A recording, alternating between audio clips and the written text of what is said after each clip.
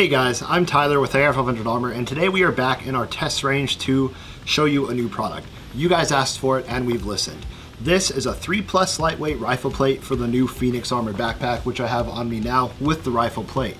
This is built in when you choose the rifle rated 3 plus lightweight armored option into the backpack. Now, most threats are still with handguns, uh, but we understand that rifles are becoming a more relevant thing, and they are a lot more uh, relevant in today's media. They get a lot more exposure. So some of you might want to have a rifle rated option. What's nice about our 3 plus lightweight rifle plate insert in the Phoenix is how it's mounted and where the ride height is. The total weight of the backpack is 8.5 pounds, but when it's mounted up high and close to your body, it feels like nothing more than a thin book. It's very manageable and doesn't feel nearly as heavy as the 8.5 pounds that it is. When you purchase the Phoenix Armored Backpack and you choose the 3 Plus Lightweight Rifle Plate, what you're gaining is rifle threat protection from the most common rounds. It's going to accommodate AR-15s, AK-47s, and 308 battle rifles. Uh, for 5.56, it'll defeat M193 and M855 penetrators at uh, 3,000 feet per second, and 308 up to 2,850 feet per second. So today we have brought out a Colt AR-15, pretty standard configuration with a 16-inch barrel, and we're going to use 5.56 M855 green tip penetrators on target on the Phoenix Armor backpack with our 3 plus lightweight rifle plate to see how it does at about 8 feet. Three rounds, 5.56 M855 penetrators out of a Colt AR-15 at about 6 feet from muzzle to the Phoenix Armor backpack.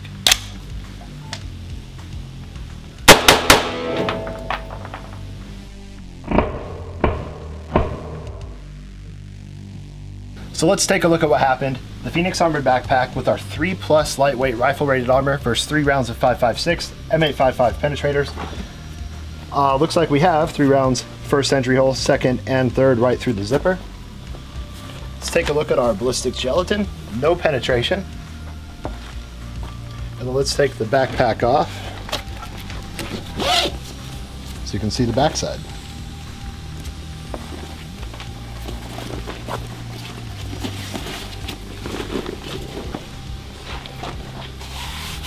Almost no deformation on the back and the backpack is still in good shape. And the front of our ballistics gel torso uh, is also still in great shape.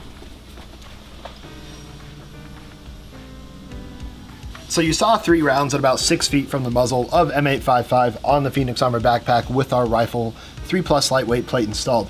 Let's step it up to M193 and see how the backpack fares also at six feet.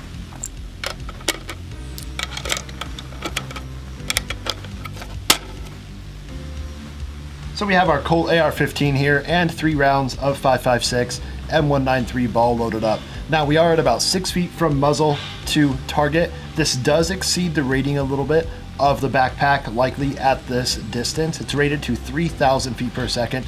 So do understand that this test does exceed the rating of the armor of what it's designed to defeat.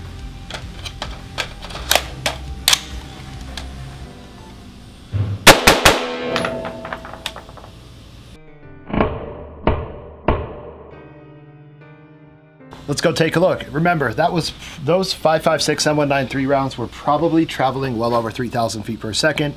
The 3 plus lightweight armor insert is rated up to 3,000 feet per second for the 5.56 round. So, I just did quick succession. You can see some of the smoke caught in the bag there. Let's see what the back of the backpack looks like.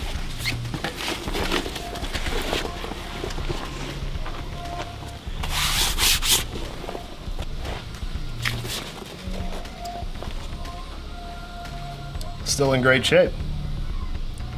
Also, the front of our ballistics gelatin, uh, completely unscathed. Six rounds total out of the AR-15, three M855 penetrator, three M193 ball, two of the most common type rounds you can buy. Both are available at Walmart. Six round center mass on the Phoenix Armored Backpack, no penetration. Do note the M193 again exceeds the velocity limit at this distance of our 3 plus lightweight armor, which is 3,000 feet per second from 5.56 rounds fired out of an AR-15. Thank you guys very much supporting us uh, as a business. We can't say thank you enough. Don't forget to like, share, and subscribe to help get the word out there. Your feedback, your feedback has been tremendously valuable, which is why we uh, came out with the rifle-rated version of the Phoenix based on uh, feedback from you guys. So thank you again. We're here to give you guys the products you want, and we can't say thank you enough for your support.